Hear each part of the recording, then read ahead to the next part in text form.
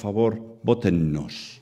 Luego he dicho, por favor, bueno, sí, por favor también, pero sobre todo votennos por convicción, por convicción. Miren sus valores, su escala de valores, cuáles son sus prioridades.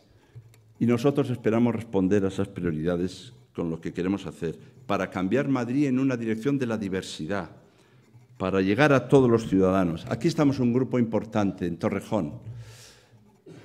No les quiero desanimar, pero fuera hay más. No les quiero desanimar.